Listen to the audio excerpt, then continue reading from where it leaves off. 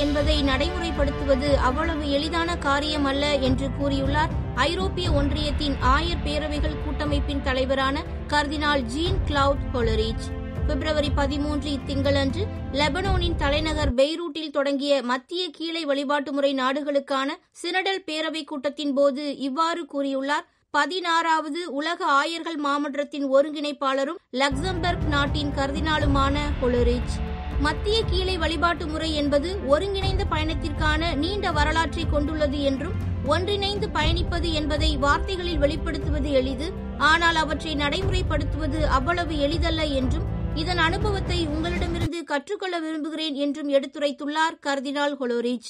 ஒன்றிணைந்த பயணத்தின் செயல்முறை என்பது பங்கேற்பாகும் இது இறை மக்களையும் ஆயர்களையும் ஒருபோதும் போட்டிக்கு உட்படுத்தாது ஆனால் அதே வேளையில் அவர்களை ஒரு நீடித்த உறவில் வைத்திருக்கிறது என்றும் இரு தரப்பினரும் தங்கள் செயல்பாட்டை நிறைவேற்ற அனுமதிக்கிறது என்றும் தனது தொடக்க உரையில் கூறியுள்ளார். உலக ஆயர்கள் மாமன்றத்தின் பொதுச் செயலர் கர்தினால் மாரியோ கிரேக்.